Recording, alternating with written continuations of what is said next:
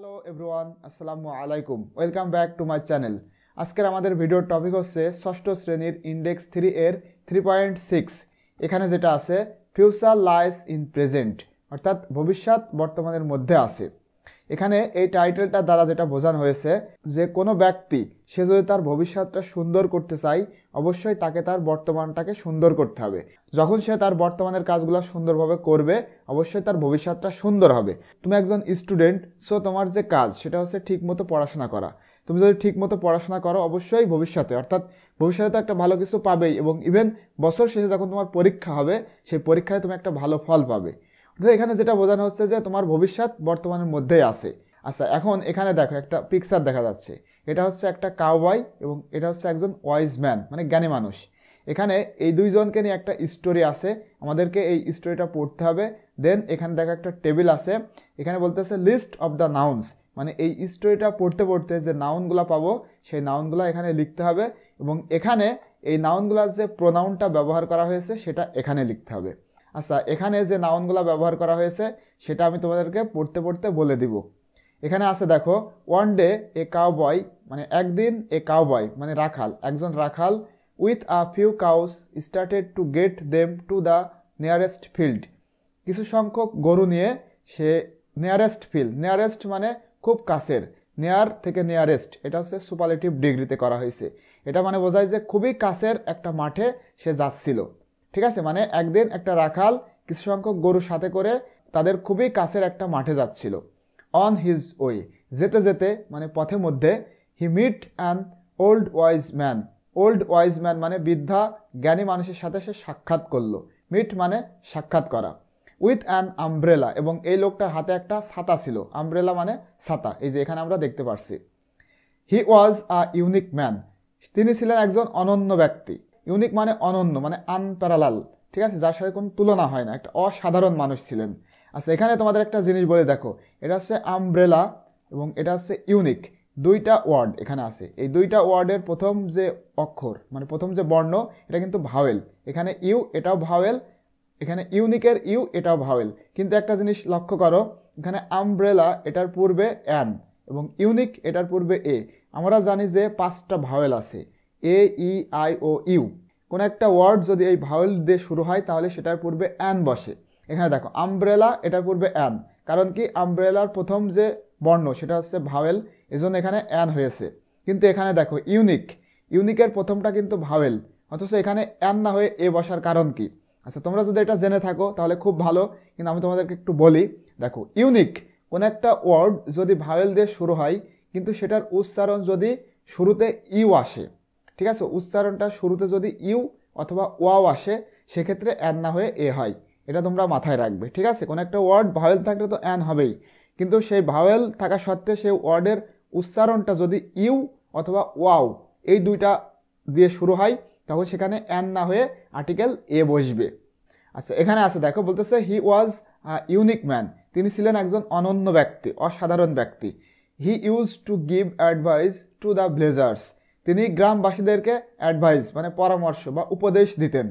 The villagers came to him regularly এই যে গ্রামের লোকজন ভিলেজার্স বলতে গ্রামের লোকজন কেম টু হিম রেগুলারলি তার কাছে প্রতিনিয়তই আসতো, সবসময় আসতো ফর অ্যাডভাইস এই পরামর্শের জন্য। সিং দ্য ম্যান এই লোকটিকে দেখে মানে এই কাউবয় এই লোকটাকে একদিন দেখছিল। বলতেছে, এই লোকটিকে দেখে the cowboy আক্সড him for advice for his future এই কাউবয় মানে এই রাখাল, তাকে জিজ্ঞাসা করল ফর অ্যাডভাইস পরামর্শের জন্য ফর হিজ ফিউচার তার ভবিষ্যতের পরামর্শের জন্য সে তার কাছে জানতে চাইলো।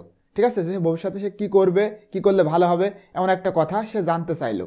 While talking to the man যখন সে এই ব্যক্তির সাথে কথা বলতেছিল the cowboy lost his concentration concentration শব্দ অর্থ হচ্ছে মনোযোগ। The cowboy lost his concentration এই কাউবয় মানে এই রাখাল, সে তার মনোযোগটা হারিয়ে ফেলল অন দ্য কাউজ এই গরুগুলোর উপর থেকে। অ্যান্ড দেয়ারফর মানে সুতরাং দে গট স্কাটাল্ড স্কাটাল্ড শব্দের অর্থ হচ্ছে যেখানে দেওয়া আছে রানিং হেয়ার অ্যান্ড দেয়ার মানে এদিকে ওদিকে দৌড়াদৌড়ি করা, ছড়িয়ে ছিটিয়ে পড়া। ঠিক আছে? যখন সে এই ব্যক্তির সাথে কথা বলতেছিল আচ্ছা এই যে এই দে এটা দ্বারা বোঝানো হয়েছে এই যে কাউস মানে গরুগুলোকে। যখন সে এই ব্যক্তির সাথে কথা বলতেছিল, গরুগুলো এদিকে ওদিকে ছোটাছুটি করছিল মানে দৌড়াদৌড়ি করছিল ইন ডিফারেন্ট ডিরেকশনস বিভিন্ন দিকে এই গরুগুলা দৌড়াদৌড়ি বা ছোটাছুটি করছিল। দ্য ওল্ড ম্যান স্মাইল্ড তখন এই বৃদ্ধ মানুষটি হাসলেন অ্যান্ড সেইড এবং বলল take care of the cattle cattle মানে গবাদি পশু।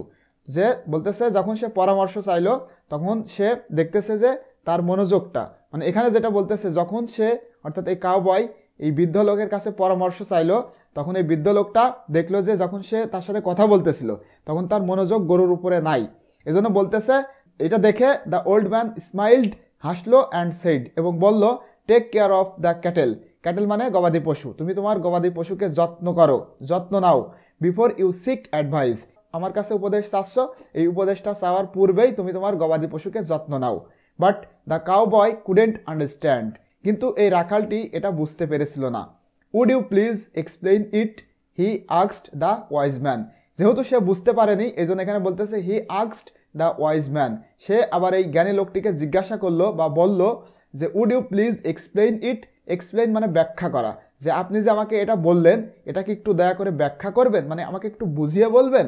যেহেতু রাখাল তাকে বলতেছে, আমাকে ভবিষ্যতের জন্য একটু উপদেশ দিন। তখন সে বলতেছে, তুমি তোমার গবাদি পশুকে যত্ন করো। রাখাল এটা ভালো মতো বুঝতে পারেনি এই জন্য বলতেছে would you please explain it আপনি কি এটা আমাকে একটু বুঝিয়ে বলবেন? হি আক্সড দ্য ওয়াইজ ম্যান সে এই বৃদ্ধা লোকটিকে আবার প্রশ্ন করল। The wise man told the cowboy এবং এর ফলে দ্য ওয়াইজ ম্যান এই জ্ঞানী মানুষটি তাকে বলল মানে কাউবয়কে বলল দ্যাট যে কি বলল? His present lead him to the future তার বর্তমান তাকে ভবিষ্যতের দিকে নিয়ে যাবে। ঠিক আছে? এ হচ্ছে আমাদের যে মূলত পড়া সেটা। আচ্ছা এবার আমি তোমাদেরকে এখানকার যে নাউন এবং প্রোনাউন ব্যবহার করা হয়েছে সেটা একটু বলি। দেখো, এখানে আছে কি? এ কাউ বয় এখানে যে কাউ বয় এখানে কাউ এবং বয় এই দুইটা ওয়ার্ডের মধ্যে শুধুমাত্র বয় এই যে এই ওয়ার্ডটা হচ্ছে নাউন সুতরাং তোমরা এখানে লিখবে কি বয় এবং এটার যে প্রোনাউন সেটা হচ্ছে হি ঠিক আছে? এই যে হি এটা হচ্ছে এর প্রোনাউন অর্থাৎ এখানে তোমরা এক নম্বরে লিখবে বয় এবং এর পাশে এক নম্বরে লিখবে হি এরপর আছে দেখো ওয়াইজ ম্যান এই যে ম্যান ওয়াইজ ম্যান এখানে এই ম্যান দুই নম্বর এটা লিখবে ম্যান এটা হচ্ছে নাউন এবং এটার প্রোনাউন হি এবং এখানে যে দুই নাম্বার সেখানে লিখবে হি আচ্ছা এখানে তোমাদের একটা প্রশ্ন হতে পারে যে কাউ বয় টোটালি এটা নাউন হবে নাকি শুধুমাত্র বয় এটা নাউন হবে? আবার এখানে আছে ওয়াইজ ম্যান এখানে টোটালি কিন্তু ওয়াইজ ম্যান এটা নাউন হবে না। ঠিক আছে, এখানে কাউ বয় এখানে কাউ বয় একসাথে কিন্তু নাউন হবে না।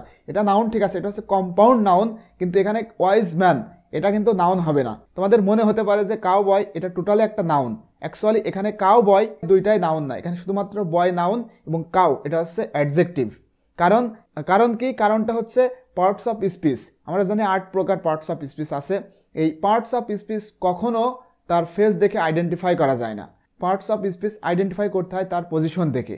মনে করো আমি একজন টিচার ঠিক আছে? আমি যখন আমার স্টুডেন্টদেরকে শিক্ষা দেই, তখন আমি তাদের শিক্ষক। এবং আমি যখন ভার্সিটিতে নিজে ক্লাস করি, আমি তখন একজন ছাত্র। এবং আমি যখন আমার মা বাবার সামনে থাকি, তখন তাদের সন্তান, যখন আমি আমার ভাইদের সামনে থাকি, তখন তাদের ভাই, যখন আমি আমার বন্ধুদের সাথে থাকি, তখন তাদের ফ্রেন্ড এভাবে আমি ব্যক্তির চেহারা সব জায়গায় এক থাকলেও কখন, কে কীভাবে আমাকে দেখবে, এটা ডিপেন্ড করে আমি কোথায় আসি এটার ওপরে নট আমার ফেস দেখে কখনো কেউ আমাকে আইডেন্টিফাই করে না। পার্টস অফ স্পিচ কখনো তার ফেস দেখে আইডেন্টিফাই করা যায় না। পার্টস অফ স্পিচ আইডেন্টিফাই করতে হয় তার পজিশন দেখে। এখানে দেখো একটা সেন্টেন্স লেখা আছে দিস ইজ আ স্কুল এই হয় একটা স্কুল। এখানে স্কুল, এটা কোন পার্টস অফ স্পিচ তোমরা সকলেই বলবে এটা স্কুল একটা নাউন অবশ্যই এটা নাউন কিন্তু আমি যদি বলি যে হি ইজ আ স্কুল বয় এখানে স্কুল এটা কিন্তু এখন আর নাউন নাই। কারণ এটা হচ্ছে অ্যাডজেক্টিভ কারণটা কি? এখানে দিস ইজ আ স্কুল এখানে দেখো, এই যে স্কুল এটা স্কুল নাম, এই জন্য নাউন বিষয়টা কিন্তু এমন না। কারণ আমরা জানি নাউনের পজিশন ঠিক আছে? নাউনের পাঁচটা পজিশন আছে।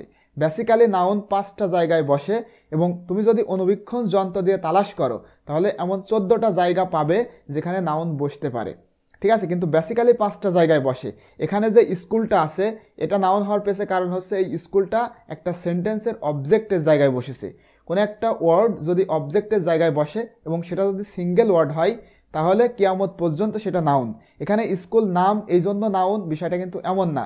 বিষয়টা হচ্ছে এখানে সেন্টেন্সের মধ্যে অবজেক্টের জায়গায় আছে এই জন্য এখানে এটা নাউন আর এখানে আছে হি ইজ আ স্কুল বয় এখানে দেখো, এই স্কুল এটা কিন্তু এখন আর নাউন নাই।